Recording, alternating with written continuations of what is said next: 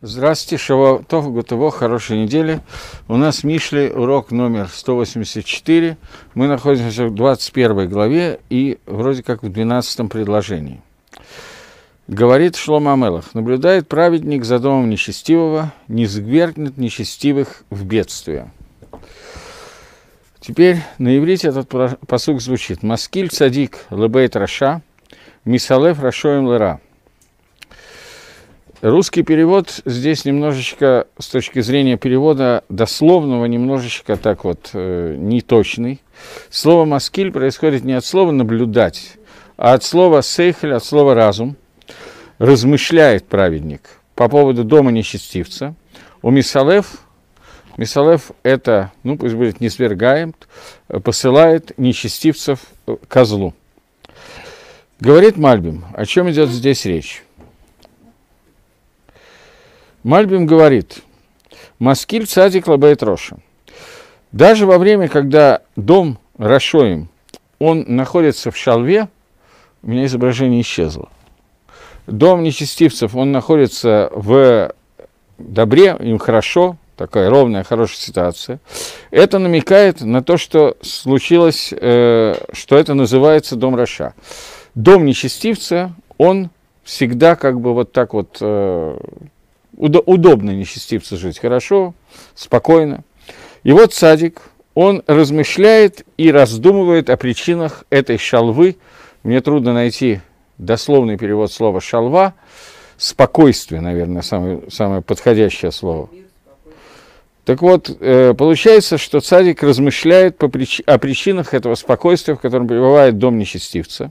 И это происходит что из этого выходит? Что Мисалев Рашоем Лара, что он отправляет нечестивцев козлу, что посредством этого э, нечестивцы видят, что цадики, цадики не понимают, почему им так хорошо. И нечестивцы видят, что они находятся в такой шалве, в таком спокойствии, в хорошем состоянии. Поэтому они продолжают и даже добавляют, увеличивают количество зла, которое они делают. Что если бы Всевышний их бы наказывал сразу же, то они боялись бы делать зло, и поэтому то, что они находятся в шалве, в спокойствии, то цадик, который наблюдает за ними, понимает, что это приведет к тому, что они получат большее наказание и получат, сделают большее зло, и, соответственно, медаки на меда, мера за мерой получат больше по голове. И также имеется в виду, что посредством их шалвы, посредством их спокойствия, э, бо- спешат и приходят в мир пураньет, несчастье в мир, и не только к цадикам они попадают в мир, но и к Рашоим. Дерегагав здесь это не очень обсуждается, но в принципе, когда в мир приходят страдания и несчастья, то цадиким получают эти страдания так же, как Рашоим. И это написано «Мишалем лосанав альпанав лавидо», что Всевышний платит нечестивцам для того, чтобы их чтобы они исчезли, для того, чтобы их уничтожить. И это приводит к козлу, потому что Большая часть таамим, смыслов, которые сказаны про то, почему преуспевает Рашат в этом мире, большая часть объяснений сводится к тому, что это нужно для того, чтобы убыстрить, привести как можно к более быстрому состоянию то зла, зло, которое к ним придет, и они заплатят наказанием за то, что они сотворили. Таким образом, если кратко лисакем то, что сказал Мальбим, то Мальбим нам сообщает – что даже в тот момент, когда у Рашоим все очень хорошо, спокойно, тихо и просто прекрасно, тот садик, который размышляет над тем, что происходит у Раши, и думает о путях Всевышнего, он понимает, видит, что это происходит для того, чтобы Раша получил большее наказание, больше зла. И это и наказание в геиноме, и наказание в этом мире. И ведется это по двум причинам. Первая причина – это то, что Раша, который видит, что у него все хорошо, хорошо клеится, крокодил ловится и так далее, то он продолжает свое рашаидство, он прибавля, прибавляет зло ко злу, и результатом этого становится то, что он увеличивает количество зла и, соответственно, увеличивает себе наказание. Цадик все это понимает, первое. И второе, что э, это приводит к более быстрому наказанию, поскольку мы видели в разных комментариях на разные книги, в том числе в самом Мальбиме немножко это указывалось на книгу Иова, что основной таам, почему, основной смысл, почему у Рашоем так все хорошо, на первый взгляд, в жизни, сводится к тому, что это нужно, чтобы они были подняты на высокую ступень, и с нее сброшены, и это падение было бы более высоким, потому что с низкого падаешь ниже, чем падаешь с высокого. Поэтому Рашоем регулярно поднимаются на какую-то высоту, чтобы оттуда упасть. Например, если бы Всевышний не возвеличил Амана до той величины, до которой он возвеличил, то падение Амана не было бы заметно, и не было бы чуда Пурима. Поэтому для того, чтобы произошло чудо Пурима, нужно было, в частности, одна из вещей, которая была необходима, чтобы Аман был возвеличен настолько, что он стал вторым после царя, и он мог дать указ об истреблении всех евреев, и только тогда через него может открыться чудо, поскольку, в принципе, все, что происходит с Рашоем, оно должно являться уроком для цадиким, уроком для праведников. И это то, о чем говорит Шлома Амелах, когда говорит, что праведник наблюдает, как сказано в русском переводе, или дословный текст. Маскиль размышляет, обдумывает то, что происходит с Рашо, и делает из этого соответствующие выводы. То есть два вывода. Первое, что это шалва, это спокойствие нужно, чтобы увеличить наказание. И второе, чтобы его ускорить. Это две вещи, которые должен садик каждый раз понимать, когда он смотрит за тем, что происходит у Раши. Это объяснение Мальбима. Сейчас идут очень короткие псуким, на которые Мальбим, особенно Гаон, пишут очень коротенькие, простые комментарии. Это будет продолжаться несколько проким, несколько глав. Но, тем не менее, иногда выплывает что-то такое очень длинное и серьезное.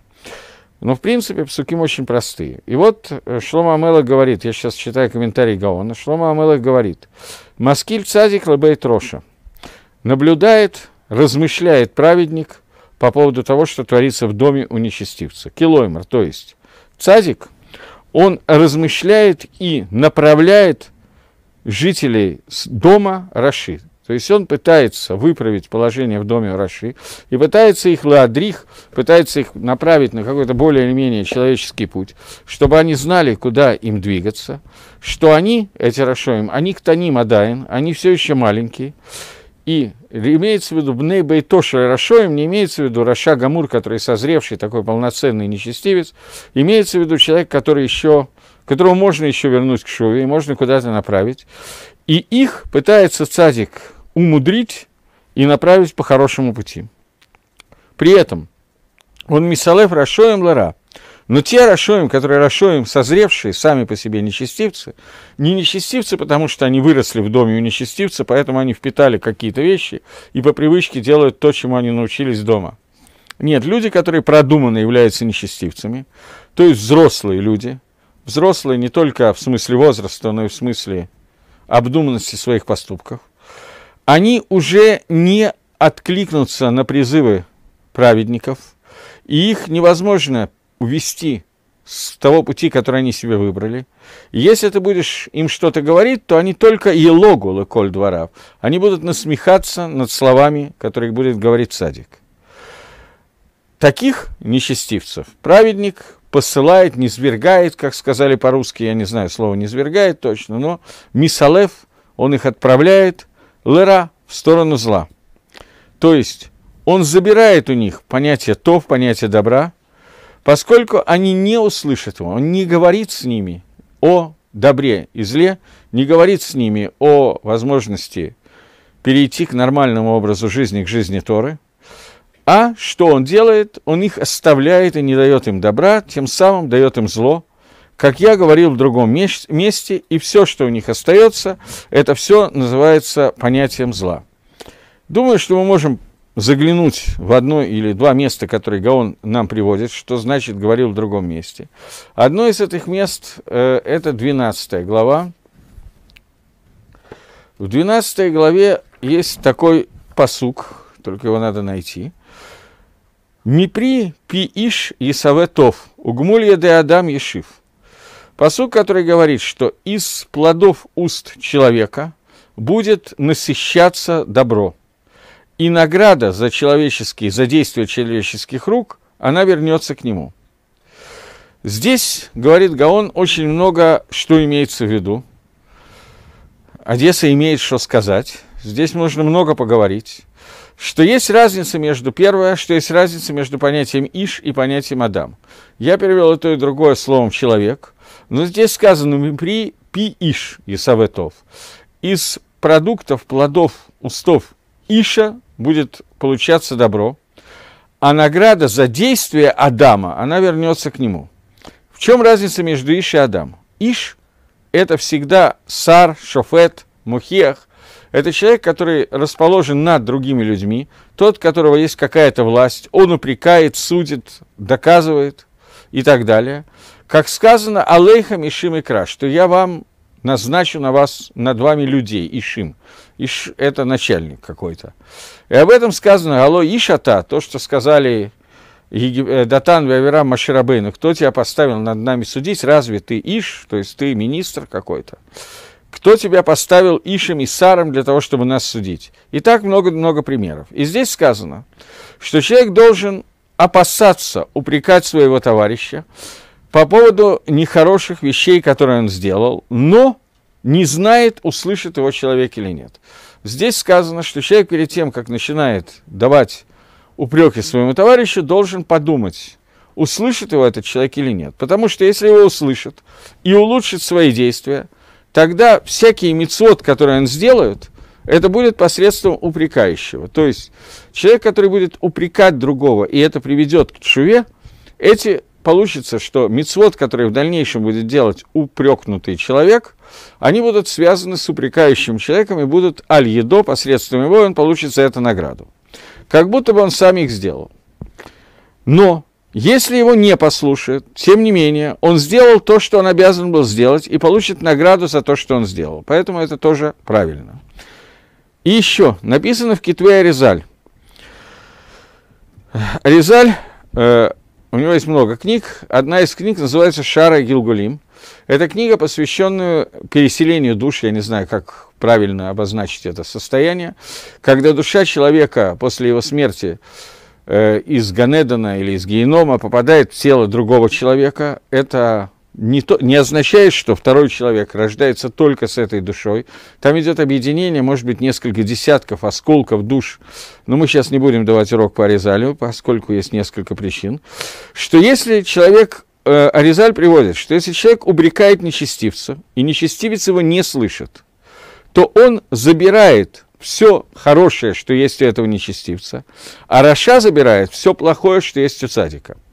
То есть Аризаль Мадгиш по поводу Мицвы, как Мадгиш, подчеркивает по поводу заповеди «Хок тахеха тамитеха волоти салавхет» «Упрекай своего ближнего, и ты не понесешь за него наказание». Это по сути Торы. Он подчеркивает, что это необходимо делать не только тогда, когда тебя могут услышать, но даже тогда, когда тебя не могут услышать, потому что если тебя услышали, то ты получаешь награду за все мецвод, которые делает услышавший себя человек. Ты как бы Мицурав присоединен к его заповедям. Если тебя не услышали, то происходит другое действие, именно.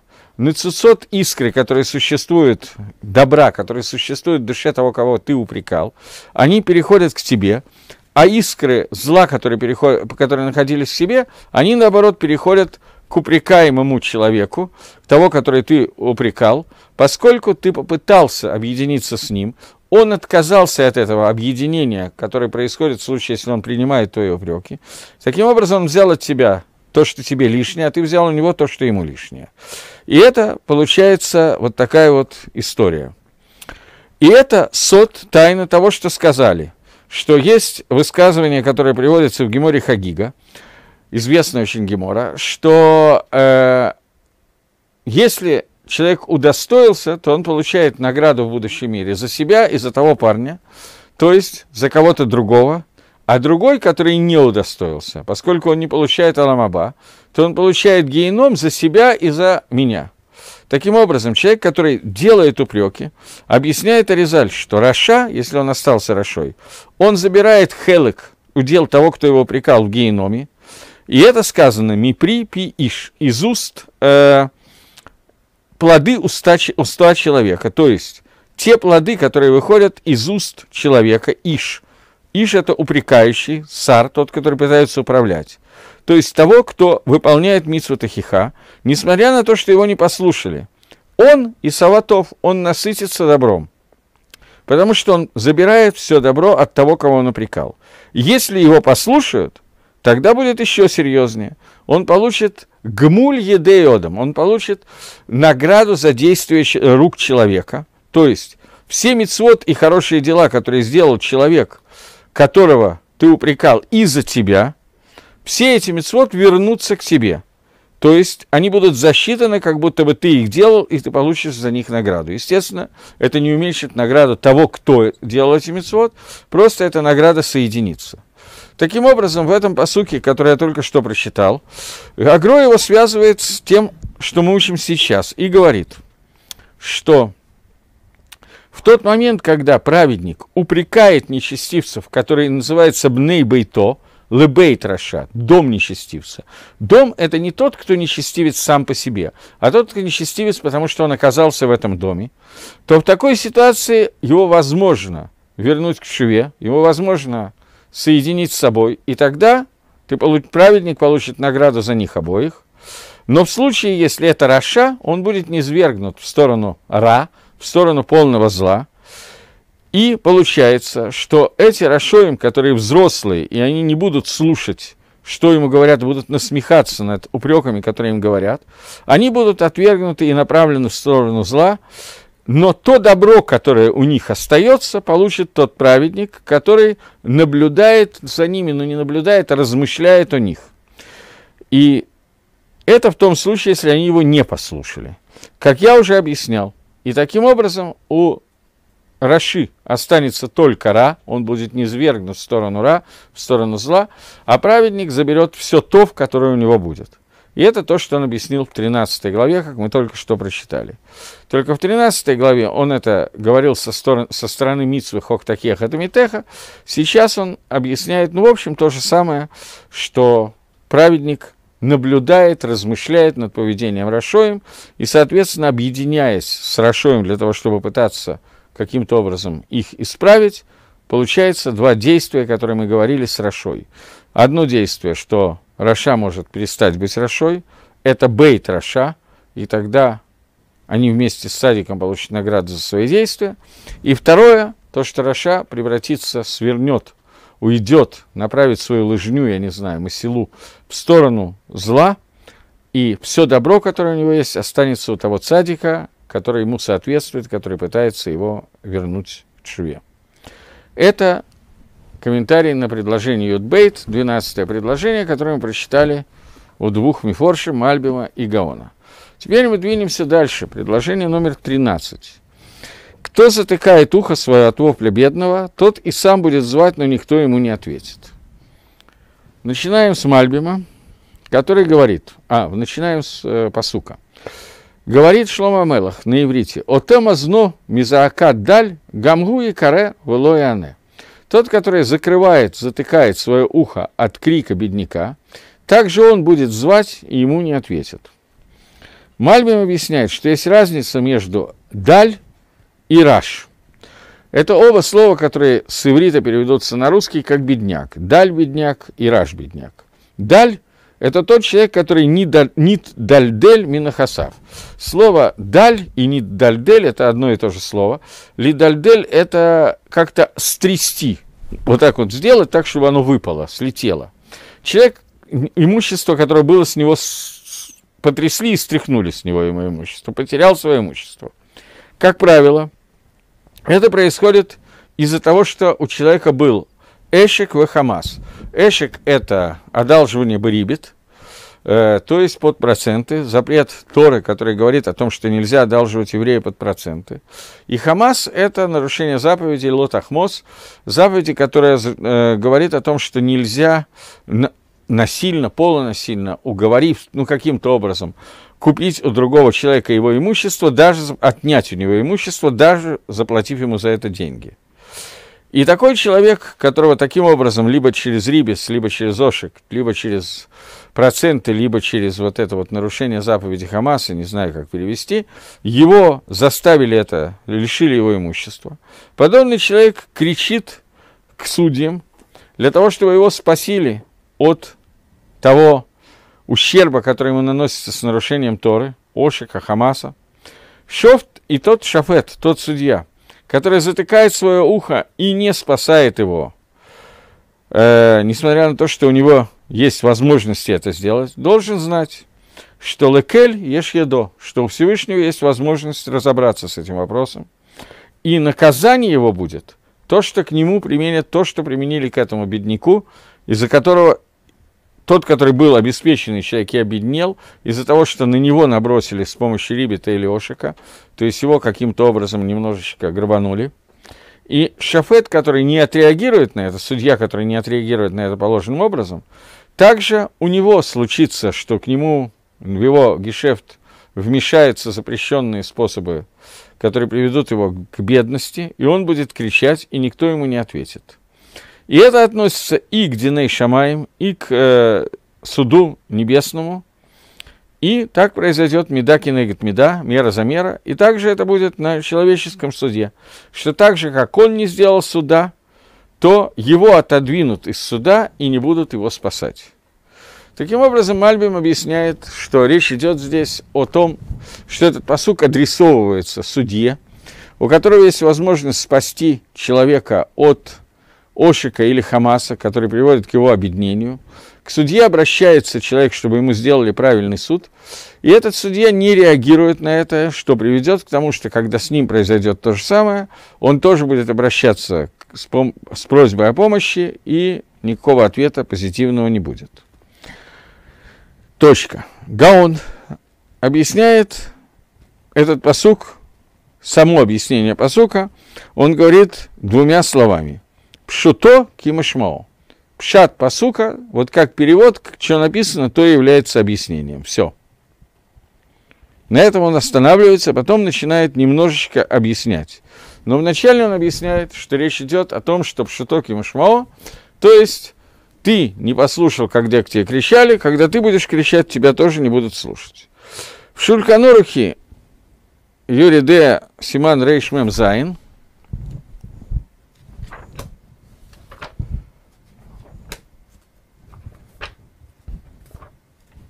момент. В каждом издании сегодня новые шульханорах, я уже вышли немножко по-разному, они издаются, и найти занимает немножко времени. Рейш Мем Зайн. Мем Глав. Почти вот. В Шульханрухе Рейш Мем Зайн э, Бейс Йосиф пишет. Коль Хамирахем Аль-Ганим, Хакодыш Бургу Мирахем Алав. Каждый, кто жалеет бедняков, Всевышний жалеет этого человека. Говорит Рамо, добавляет и пишет. И человек должен обратить свое внимание, своего сердца что он просит каждый час постоянно обращаться ко Всевышнему с просьбой о парносе, о пропитании от Всевышнего. И так же, как он просит Всевышнего, чтобы Всевышний послушал его, так Всевышний слушает жалобы и просьбы бедняков, и также обратить свое внимание на то, что он находится в состоянии Галгаль-Хозер, колесо, которое крутится и возвращается в мир. И в конце концов, человек, который его, гу обно, окажется, что либо он, либо его сын, или бенбно, или его внук, придут в состояние, которое называется мидазу, этого качества. И каждый, кто пожалеет других людей, его жалеют. То есть человек, который сегодня находится в состоянии, что он хорошо обеспечен, у него нет проблем, и к нему обращается бедняк и просит «дай». И он не обращает внимания на слова бедняка, затыкает свое ухо, не смотрит за тем, что происходит. Говорит Шульханору Хирамо, что Шульханору говорит, во-первых, что Всевышний жалеет тех, кто жалеет бедняков. То есть, если затыкать свое ухо от просьб бедняка, то Всевышний может заткнуть ухо того, кто к нему молится, а мы молимся постоянно. И добавляет Рамо и говорит, что человек должен помнить такой ситуации, что Галгаль, он хазер баалам, колесо крутится в мире – и тот, кто сегодня был богатый, завтра может оказаться бедный. Или не он, но его дети или внуки могут оказаться нуждающимися. И в таком случае они будут просить, и меда кинегет меда, мера за меру, будет говорить, что они не так же, как ты заткнул свое ухо и не услышал просьбу бедняка, так же Всевышний заткнет свое ухо и не услышит твоей просьбы. Это Басак Шульханорух, и Гаон приводит здесь э, различные истории, в том числе Вильнюсский Гаон, приводит ссылку на наши Мишли, на наш посук, который мы сейчас учим, относительно того, что означает человек, который э, затыкает свое ухо и не обращает внимания на крик бедняка. В нашей посуке Гаон это переводит очень просто «пшуток и машмао». Что это значит, пшуток и машмао? Пшат этого посука объяснение точно как его перевод. Не надо затыкать уши, иначе ты потом будешь кричать, и тебя не услышат. Рамо объясняет, что имеется в виду, что кто-то, либо ты, либо твои дети или внуки будут нуждаться, будут просить, и им не дадут сдоки из-за того, что ты сегодня закрыл свое ухо и сделал вид, что ты не слышишь просьбу о сдаке. Продолжает Гаон и говорит, вы иньяно. Иньян этого посука, суть его, Ецер готов некра иш мискен хахам. То есть пшуто мы уже поняли. Пшат этого посука, относящийся к понятию денег, нам объяснен. Теперь он переходит на состояние объяснения посука, который называется ремес, то есть намек, что именно, машаль чего, пример чего хочет нам изложить Шлома Амелах, чтобы мы поняли, о чем идет речь. Иньян этого посука. У человека есть Ецер готов у некоторых. Ецер готов называется Ишмискен Хахам, несчастный, мудрый человек, который находится внутри каждого человека. Так его называют Шлома Амелах в книге Кагелет. В девятой главе он несколько раз это описывает и говорит про осаду города, которая происходит, и нашелся Мискен, Хахам, который пришел и спас город, и после того, как город был спасен, никто не вспомнил про этого мудреца, про этого умного Мискен, Мискена, несчастного человека. Так вот, Иш мискен вахахам – это ецарготов, который есть в человеке. Почему он называется мис... хахам, понятно, потому что ецарготов мудрая. Почему он называется мискен? Потому что он все время находится внутри человека в неком галуте, потому что основное, что есть у большей части людей мира Асии, мира действия, это Ецаргара, она преобладает, преобладает в очень сильном состоянии, за исключением единиц людей, поэтому Ецарготов находится внутри человека, как в изгнании, поэтому она называется Ишмискен Вахахам. И когда человек закрывает свое ухо для того, чтобы не слышать голоса вот этого вот того, что ему говорит этот Мискен и Хахам, этого мудреца, Велой Сор ми аванатав, и человек не уходит, не э, не убирает свой путь, не направляет его в сторону от аванот, от его грехов, после этого получится, что также этот человек будет кричать, и ему не ответят. Так же, как он не ответил в своей готов, также в дальнейшем он лишится ответа. Как сказано, Аллахохма Тикаре. Здесь он приводит посук, который я бы хотел э, посмотреть, хотя это не такая простая вещь сейчас к нему обратиться, но попробуем это сделать. Э, для этого надо открыть Мишли, восьмую главу, начало восьмой главы, где у нас разбирается такая, оп, такая тема. Говорит Шлома Амелах, Гала хохма тикраба твуна титенкала, что вот мудрость будет обращаться, хохма будет обращаться, а твуна, пина, будет давать свой голос – что имеется в виду? Он говорит, что мы уже писали об этом, говорит Гаон в восьмой главе, что хохма бехуц таруна. Хохма, она находится снаружи. Ровно наоборот газлоним, ворам, про которых сказано «неорвал и дам», смещаемся с кровью. И это сот гадухра, Ки омар ахшавкан гефихи шазана. То есть, это противоположность того, о чем говорит первая часть всей книги Мишлей, которая говорит о том, как надо остерегаться от понятия, от приближения к Ишазана. Это один из видов Яцергары, который Тайва и Химда, две Ишазаны, которые посвящена все первая, вся первая часть э, книги Мишлей. И Ишазана – это сот понятия нуква, женского начала. Что это делает все Беэриф Йом, то есть э, у нас есть два, внутри человека есть два начала, которое называется Яцерготов и Яцергара. Это мужское и женское начало. Женское начало обозначается Штейнашим Занот, который приходит в Шлома Амелаху, Тайва и Химда. Мужское начало – это Ецерготов, это Хесед, который находится. И женское начало – это Дин. В терминах Каболы Нуква всегда это Дин и Духра – Дахар, Захар – это мужчина, это всегда Хесед. это два состояния, которые есть, и борьба этих двух состояний – это и есть существование человека. Хохма обращается в открытую, и не нужно ее стесняться. Твуна, она только подает свой голос. Бина, она подает свой, подает свой голос. О чем сказано? Берош хоматейха тикрапа питхей шарейха биирамра. То есть четыре вещи, которые здесь сказано, что обращение мудрости хохмы и бины, который идет к человеку, об этом сказано в другом месте, что есть аб, арба пхинот Тора. Есть четыре уровня Торы, четыре элемента, из которых состоит Тора. Через них обращается хохма и бина к человеку. Это четыре элемента, которые называются пардес, расшифровывается пшад, ремес, драш, сот. Это простой смысл Торы, намек, на что намекает Тора, какие-то дополнительные вещи. Драш – это мидраж, с помощью которого вводится голоход, и сот – это тайный смысл Торы, где нам объясняется некий, ну, на каком-то уровне некоторые мысли и каванот Всевышнего, смысл каких-то вещей, что происходит посредством того, что делает человек в этом мире.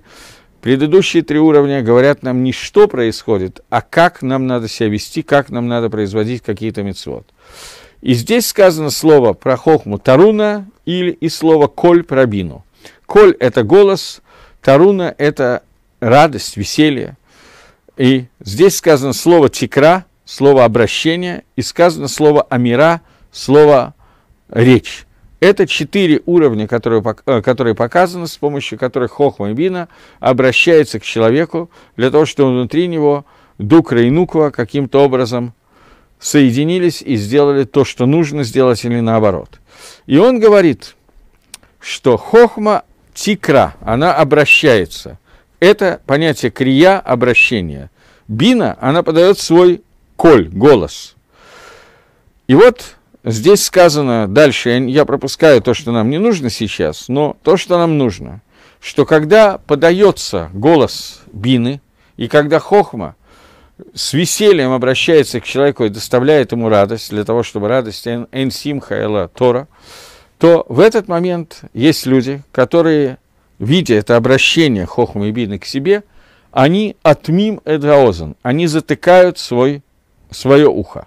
Поэтому говорит Шлома Амелах, что иньян, посука, который мы учим сейчас, человек, который закрывает голос при обращении, при крике бедняка, бедняк это Иш-Хахам, который спасает город, то есть это Хохма и Бина, голос, то он слышит, что к нему обращается слово «икра» идет, от, э, переводится, как Гаон перевел в восьмой главе, что это обращение хохмы к человеку, то человек, который слышит, как к нему обращается икра и не отвечает, то этот человек добьется результата, о котором говорится здесь, а именно, какой результат говорит Шлома Амелах, одну секундочку, я потерялся, что будет так, что он тоже, икра валояне, что он тоже будет обращаться, и ему не ответят. Что имеется в виду? Что когда он закрывает свои уши для того, чтобы слышать голос, который к нему обращается, и не уходит с своих кривых путей, после этого он тоже будет кричать и не услышит ответа, как сказано. Агала хохма тикра, что вот хохма, она обращается к тебе. Яан карати, это маону тити, аси краену валояне. Я буду к тебе обращаться, и ты не ответишь. Здесь говорится о том, что человек, который отказывается от того, чтобы услышать, как к нему обращаются два вида разума, хохма и туна, он потеряет возможность отвечать, услышать и ответить на те обращения, которые к нему будут сказаны. С немножко есть длинное место, я не знаю, стоит ли его начинать, может быть, совсем так коротко. Это было совсем давно, вряд ли кто-то помнит. В начале, нет, в кон, ближе к концу первой главы есть несколько предложений. Я думаю, что я их просто использую русскую речь и зачитаю, потому что иначе надо будет просто обращаться к комментаторам, чтобы понять, что там написано. Это немножко затянет нас. Один момент – Ой.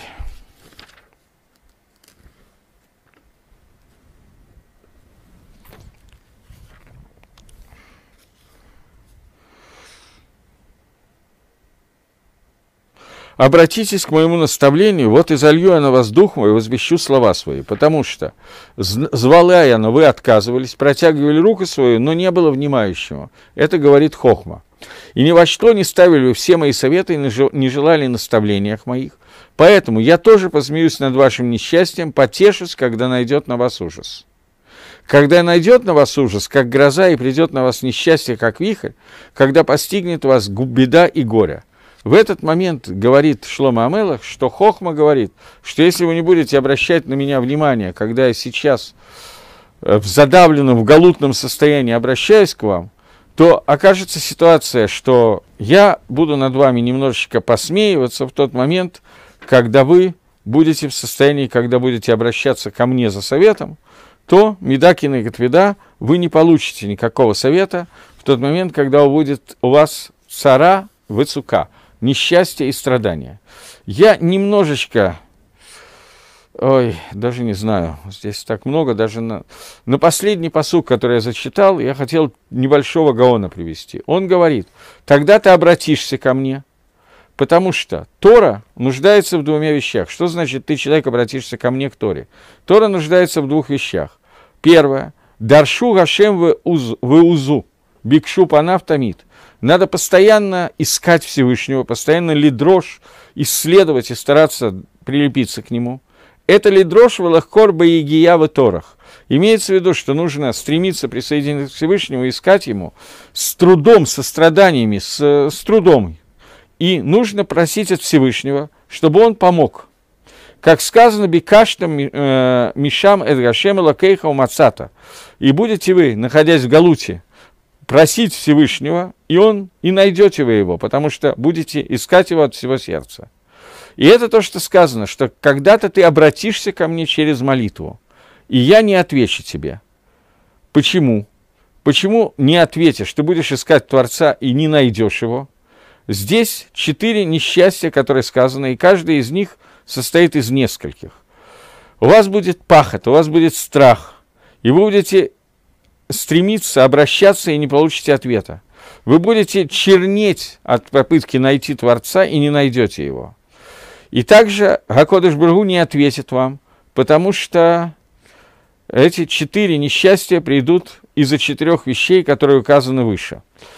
Четыре вещи, о которых говорил он уже э, в предыдущих псуки, ну, не знаю, надо ли в это входить. То есть Ян Карати, вот смотри, я к тебе обращался, говорит мудрость, то есть Творец, а вы, я к тебе обращался, ты затыкал свое ухо и не слышал. Так же будет, что когда ты будешь находиться в несчастье, ты будешь обращаться ко мне, а я к тебе не отвечу. Первое. Второе, я протягивал себе руку издалека, и это Торах, ты должен был трудиться, чтобы достигнуть Всевышнего.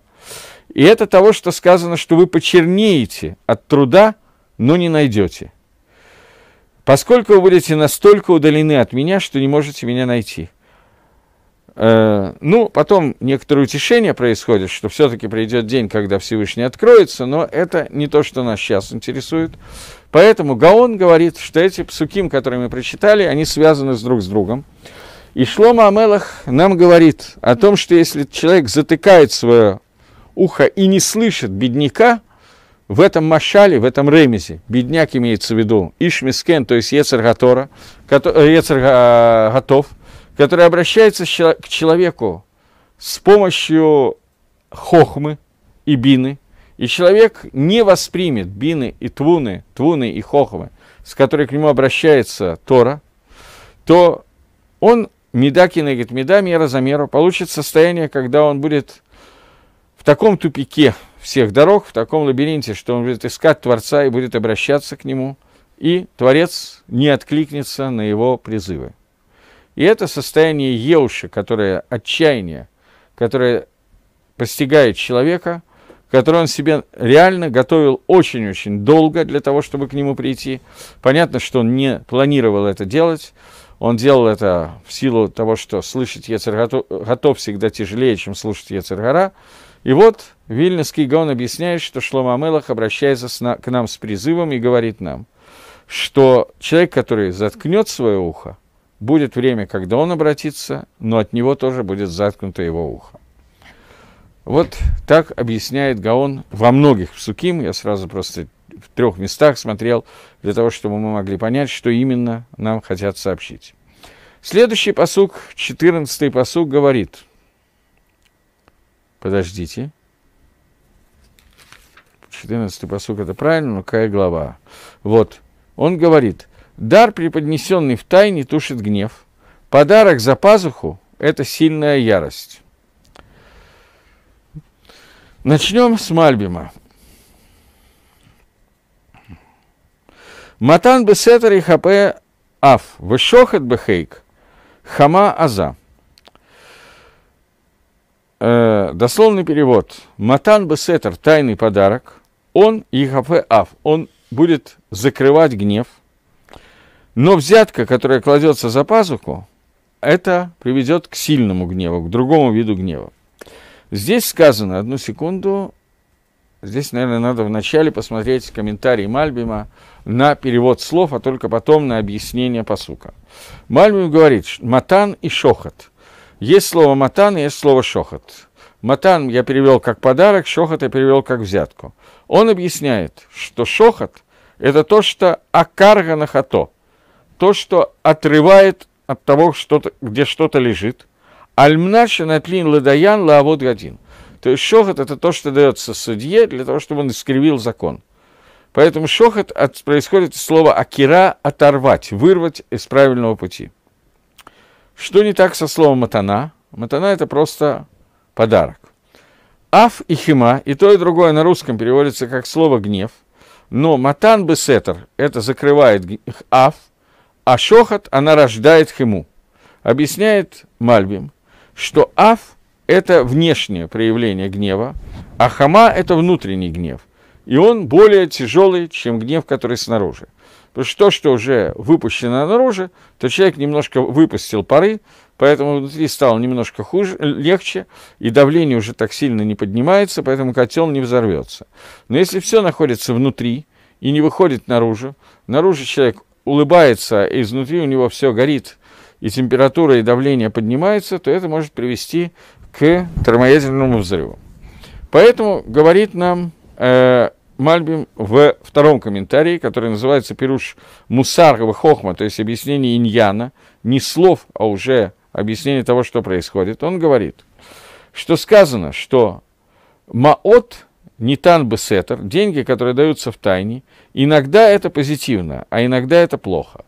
Есть два вида передачи денег в тайне. Что если это матан бесетер, тайная матана, тайный подарок, то есть он матан мицаен, слово матан – подарок, латет, он мицаен матана, это указание на подарок, который да, э, дается, чтобы ло авор давар, чтобы не приступить к какой-то вещи.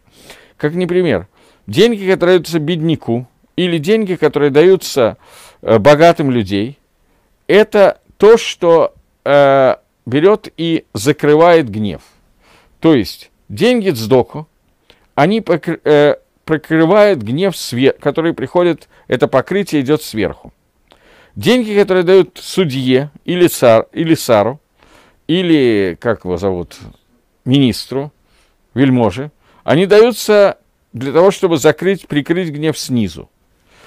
То есть э, существует некие виды, которые по-русски, наверное, идет одно и то же слово, не подарок, а взятка, которые даются какому-то королю, царю, который собирается сделать указ, который будет мешать существованию, например, Амисраэля, и ему дается небольшой подарок, такой или лучше большой, для того, чтобы он отменил этот указ.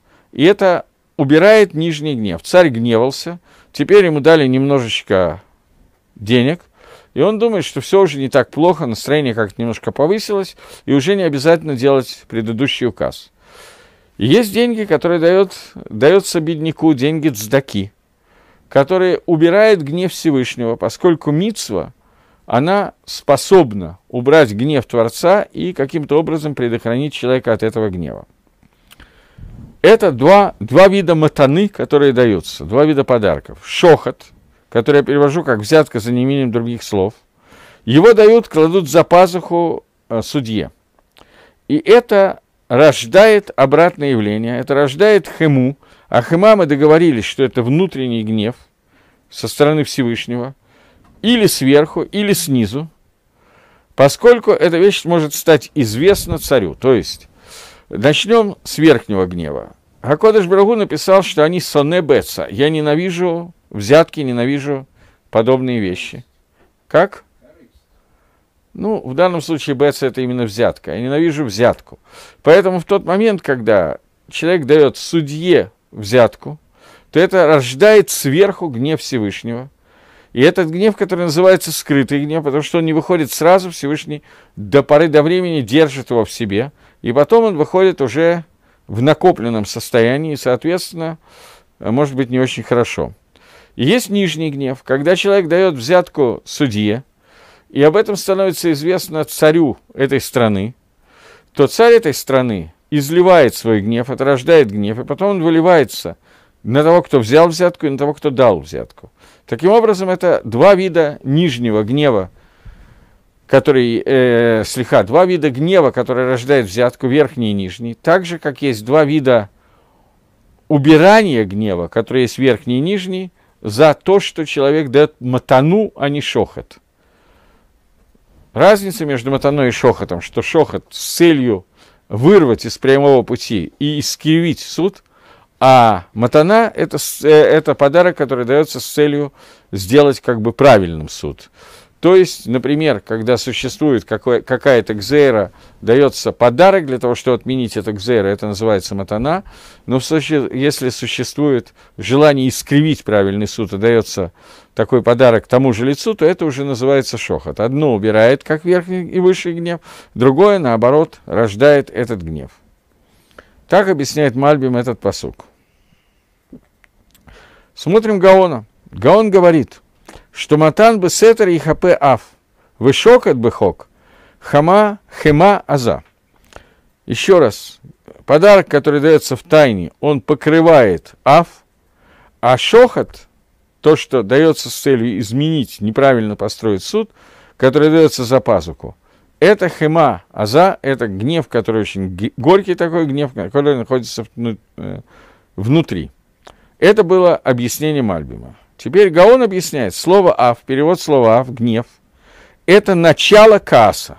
Существует понятие кас, который переводится как гнев, ав – это начало вот этого гнева. То есть, когда дается матан бесетер, когда дается подарок тихоря, то, в тайне, то это ИХП скрывает, чтобы не пришел к нему вообще каас, приводит к тому, что полностью не придет гнев. Но человек, который дает шохот и кладет его за пазуху, он поднимает себя внутри, на себя поднимает хому, который идет изнутри, поскольку э, взятка приводит к кассу, она ровно наоборот, она приводит к понятию гнева. Хема, объясняет Гаон, это действие, которое приходит в конце гнева. То есть Гаон объясняет как бы немножко близко к наоборот тому, как объяснил Мальбим. Мальбим говорит, что хама – это внутренний, аф – это внешний гнев – а Мальбим объясня... э, Гаон объясняет, что хама – это конец гнева, уже действие, которое происходит, а аф – это начало, когда начинается гневаться кто-то. Поэтому он объясняет,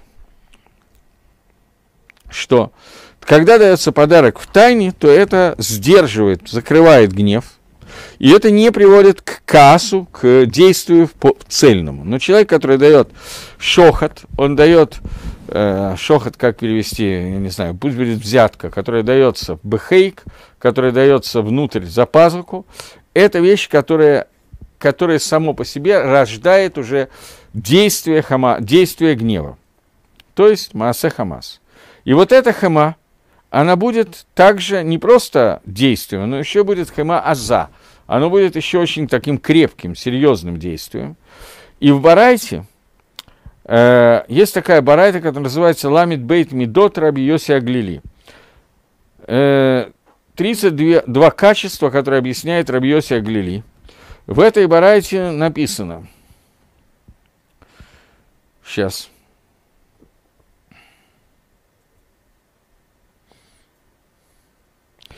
То я вначале приведу лашон, потом некоторые объяснения. Написано так, мы учили. Ше ИКП, слово ИКП – закрывает, скрывает, относится также к шохоту. Так, не только к афу, но и к шохоту. Не только к матане слихат, но и к шохоту. И к взятке тоже. И невозможно объяснить, что это Барайта говорит про отношения со Всевышним. Почему? Потому что про Всевышнего написано, что Всевышний лои сапаним, лои как шохот. Всевышний не обращает свое внимание, не... не да но в данном случае пристрастный в лучшую сторону, как это сказать, лиса по ним, то есть не будет как-то слишком хорошо относиться кому-то, непозволительно хорошо, когда незаслуженно хорошо относиться, и не будет брать шохот, и не будет брать взятки. Что же тогда имеется в виду, спрашивает Гагро. Имеется в виду, что если не давать тайный подарок бедняку израильскому, то человеку понадобится потом давать шохот, взятки для министров народов мира.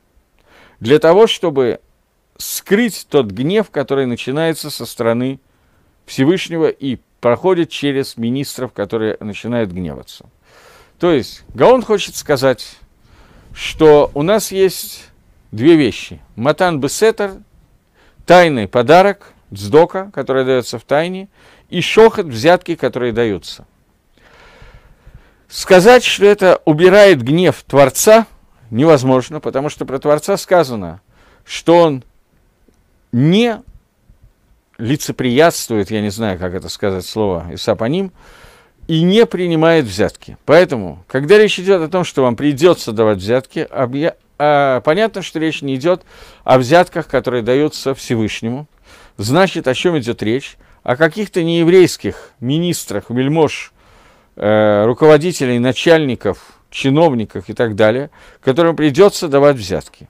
И Геон объясняет, что у тебя есть два варианта, как использовать деньги.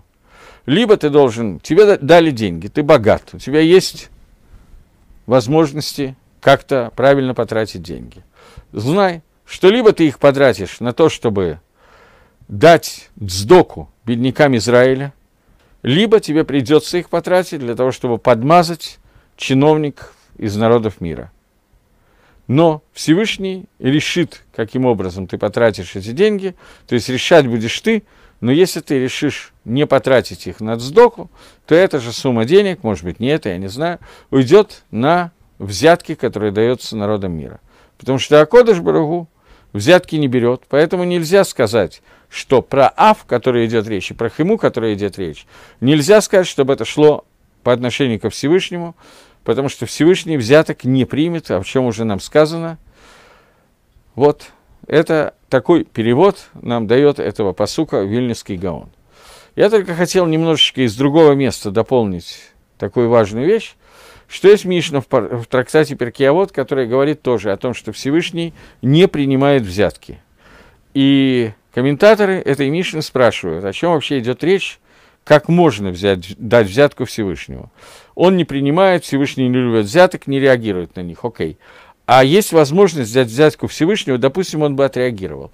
Что имеется в виду, когда мы говорим, что Всевышний не принимает взятку? Я беру тысячу долларов, заворачиваю ее в конвертик или резиночкой, полиэтиленовый мешочек, кладу в книжку Сифрей Кодыш в каждую страничку по 100 долларов и как я могу технически передать это Всевышнему? Вопрос, что он будет делать с этой взяткой, это еще один вопрос. Но как можно дать взятку Всевышнему? О чем идет речь? Мишна не может сказать какие-то глупости, что Всевышний не принимает взятки. Раз не принимает, значит, можно технически их дать. Объясняет Мифоршим, что взятка, которая дает Всевышнему, это человек, который рассуждает про себя таким образом, что да, я сделал авейру под номером 11, неважно какую Аверу, приступил одну из заповедей Торы. Но когда Акодыш Баругу будет меня судить, я ему скажу, что я сделал такую-то, такую-то, такую-то мецву. И эти мецвод, это будет некий подарком, взяткой Творцу, с помощью которой я искуплю вину за те аверот, которые я сделал. Говорит Мишна, что ничего подобного. Акодыш Барагу не принимает взятки, Велой Сапаним не лицеприятствует, ему невозможно дать взятку в том плане, что эта взятка, которую ты даешь, она не будет, не поможет тебе. не воздействуют. Почему? Что это означает? Ведь вроде бы как человек праведный, он действительно сделал мицвод. Объясняют мифоршим комментаторы Бартинора, Рабейн Йона, Маораль. Они объясняют, что Акодыш Барагу, э, он накажет за ту авейру, которую ты сделал, и даст награду за ту миссу, которую ты сделал. Но это не произойдет как сокращение числителя и знаменателя. Когда мы работаем с дробями, учим дроби, то мы сокращаем числитель и знаменатель, сокращаем дробь. Нет. У тебя в числителе есть 495, ты получишь 495 мецвод, ты получишь за них 495 наград. У тебя в знаменателе есть 495, ты получишь 495 наказаний за каждую аверу, которую ты сделал. Естественно, речь идет про то, что человек не сделал шуву, потому что если он сделал шуву, плюс Йом Кипр, плюс Йом Амита, по-разному, разный аверот, но тогда эти аверот вообще нету, они аннулированы. Но в случае, если ты остался с этой аверой и рассчитываешь убрать гнев Всевышнего с помощью взятки, то тебе говорится, что Всевышний не берет взяток, не сработает он не лицепрепятствует тому, кто дает взятки. Но речь идет о взятке, которую ты можешь дать, и понятно, что взятки, которые ты можешь дать, это не взятка деньгами, которую человек планирует дать Всевышнему. Но поскольку здесь говорится про деньги, то Гаон объясняет этот посук, что посук не говорит о Всевышнем, когда мы с помощью э, мицвод хотим или денег хотим взять и изменить убрать гнев Творца по отношению к Амисраилю. Нет, здесь речь идет о другом, а о чем именно здесь идет речь? Речь идет о том, что человек должен знать, что когда он тратит свои деньги на подарки, это могут, может быть два подарка. Первый подарок бедняку, и тогда ему не понадобится давать взятку для того, чтобы у него, я не знаю, забрали его бизнес из-за того, что он случайно сцепился с кем-то из представителей аппарата, который сейчас надо подмазать, крыши заплатить и так далее. То есть взятки, которые даются бедняку, я сказал взятки специально в кавычках, матанот, подарки, которые даются бедняку, это то, что исправит положение, им нам не понадобится давать взятки чиновникам. Это нечто очень похожее на то, что сказано. Человек, который принимает на себя Оль Малхут Шамаем, человек, который принимает на себя иго небесного рабства, с него забирают иго рабства по отношению к царям и к э, народам мира и так далее. То есть человек, который полностью подчиняет себя Творцу, то с него снимают иго управления государства. Человек, который посвящает деньги бедняку, ему не придется в кавычках посвятить им для, его, и для шохота, для министерства. Вот, это объяснение Гаона на 14-й посук. На этом сегодня, сейчас мы закончим. До новых встреч в эфире. Всего доброго.